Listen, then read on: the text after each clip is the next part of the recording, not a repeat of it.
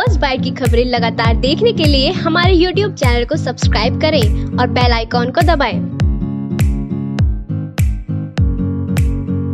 इस खबर के प्रायोजक है KMC health city and KMC cancer institute, उत्तरी भारत का आधुनिकतम सुविधाओं से युक्त चिकित्सा संस्थान, बागपत रोड, मेरठ नमस्कार, मैं हूँ रवि शर्मा और आप देख रहे हैं first bite dot TV Hathras की बेटी मर गई तो इतना बखेड़ा खड़ा हो गया, लेकिन रेप के आरोपी शराब माफिया पर पुलिस मेहरबान है। मोटी रिश्वत खा रखी है। रोज कभी इधर तो कभी उधर। टहला दिया जा रहा है। क्या इंसाफ के लिए अब मुझे भी मरना होगा? यह दर्द मेरठ के खरखौदा थाना क्षेत्र की लोहिया नगर की पीड़ित युवती का है। परेशान व सिस्टम के चक्कर काटते काटते थक चुकी इस युवती का अब कहना है कि अब वह अपनी गुहार कमिश्नर से लगाएगी। यदि आठ दिन में शराब माफिया को गिरफ़्तार नहीं किया गया तो वह परिवार समेत कमिश्नर के सामने ही आत्महत्या कर लेगी। आज जब फ़र्स्ट बाइट ने सीओ किठौर, देवेश कुशवाहा से इस बारे में बात की तो उन्होंने भी शराब माफिया बताए जा रहे आरोपी के बाबत बेहद सम्मानजनक लहजे में बात की। सीओ ने कहा कि कुछ समय पूर्व भी उन्हें गिरफ़्तार कर जेल भेजा गया था। उनकी बराबर तलाश की जा रही है। हाथरस के बाद एकाएक ही उत्तर प्रदेश में बलात्कार की घटनाओं के सामने आने की घटनाएँ आम हो गई हैं। ताज़ा मामला मेरठ के खरखौदा थाना क्षेत्र का है। लोहिया नगर निवासी इस मुस्लिम युवती का आरोप है कि 20 दिन पहले शराब माफिया पाशा उसे घर से ले गया था। उसने अपने साथी के साथ उससे रेप किया। इस पर खरखौदा थाने में पाशा के खिलाफ बलात्कार जैसी गंभीर धाराओं में मुकदमा ज़रूर दर्ज किया गया, लेकिन 18 दिन बाद भी शराब माफिया पर पुलिस हाथ नहीं डाल पाई है। परेशान युवती व परिजनों का सीधा आरोप है कि वह एसओ खरखौदा के साथ घूमता रहता है। पाशा ने पुलिस को मोटी रिश्वत खिलाई है, जिस कारण उस पर पुलिस हाथ नहीं डाल रही है। आइए पहले सुनते हैं पीड़ित युवती की कहानी, उसी की जुबानी। नाम तैयब आया, मैं लोहिया नगर से आई हूँ। रेप केस का मामला है, जिसके जिसके लिए मैंने मुकदमा दर्ज किया है, जिसके बारे में उसकी अभी तक गिरफ्तारी नहीं हुई है। तेईस सितंबर का केस ही है, अभी तक कुछ नहीं हुआ अट्ठारह दिन हो गए, रोज़ आ रही हूँ मैं यहाँ।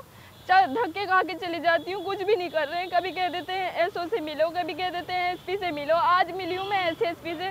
उन्होंने फिर सीओ के ऊपर डाल दिया कि आज सीओ से मिलो। अब क्या मैं यही काम करती रहूँगी? बस यही काम रह गया। मेरा क्या सारे चमचगिरी में लग गए इनकी? क्या गुंडों का यही होता रहेगा? कोई पकड़ने का नहीं है इन्हें। किसके खिलाफ मुकदमा करा है? शहजाद उर्फ़ पासा के खिलाफ और इनका भाई है झाड़ उर्फ़ बाबिद। और ये सब बहुत टॉर्चर कर रहे हैं। घर से बाहर निकलना नहीं हो रहा। ये शराब माफिया है शराब का काम करता है। शराब माफिया है इसने बहुत ये बंदूकों बंदूकों की लेवा बेची भी करता है बंदूकें इसके पास रहती है इसके खिलाफ कोई भी बोलना नहीं चाहता सबको पैसे खिला रखे हैं। खरगोदा थाना के जो इंचार्ज हैं बी एस चौहान उन्होंने खुद मोटी रिश्वत खाई है। वो खुद कुछ नहीं कर रहे हैं उसके खिलाफ क्या अठारह दिन में किसी मुजरिम को पकड़ा नहीं जाता? क्या किसी के बस की नहीं है उसे पकड़ना? कभी कह देते हैं सीओ के पास मिला कभी कह देते हैं एसएसपी के पास मिलो। क्या यही काम रह गया है बस। हाथरस में जो लड़की मरी वो मर गई। जब उसके बारे में चल रहा है मेरे बारे में कुछ नहीं चलेगा मैं ज़िंदा हूँ तो। मेरे मरने के बाद ही होगा कुछ। पुलिस के मुलजिम हैं ये लेकिन फिर भी पुलिस की गाड़ियों में बैठ रहे हैं और ये पुलिस पकड़ नहीं रहे थानों में घूम रहे हैं ये। मामला? कौन लोग लोहिया नगर घोसीपुर घोसीपुर के घोसीपुर निवासी। इस बारे में जब सीओ किठौर देवेश कुशवाहा से बात की गई तो उन्होंने यह जानकारी दी। थाना खरगोदा क्षेत्र अंतर्गत एक लोहिया नगर महिला ने मुकदमा दर्ज कराया कोई सेठात उर्फ़ पाशा के व्यक्ति पर तीन सौ छिहत्तर का मामला क्या पूरा मामला और क्या इतना कार्रवाई की गई? शहजाद पासा के खिलाफ महिला ने अभियोग पंजीकृत कराया है जिसमें गंभीर धाराओं धाराएँ लगी हैं दुष्कर्म का आरोप है। उस पर शहजाद पाशा की गिरफ्तारी के प्रयास किए जा रहे हैं। शहजाद पाशा घर छोड़ के बहुत दिन से फरार है। काफ़ी समय से फरार चल रहा है। अन्य मुकदमों में भी उसकी तलाश है। और हमारी टीमें लगी हुई हैं। जल्द से जल्द गिरफ़्तार करके उसको जेल भेजा जाएगा।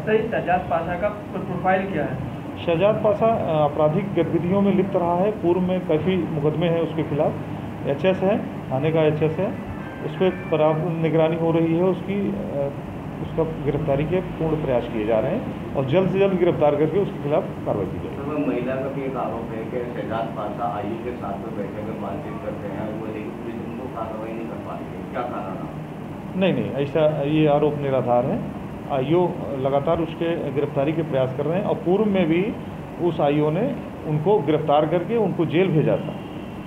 कुछ दिन पहले उनको जेल भेजा था अभी जमानत पे छूट के आए थे और दोबारा फिर उनको गिरफ्तारी करने का प्रयास किया जा रहा है। इस खबर में आज इतना ही। आप देखते रहिए फ़र्स्ट बाइट डॉट टीवी नमस्कार।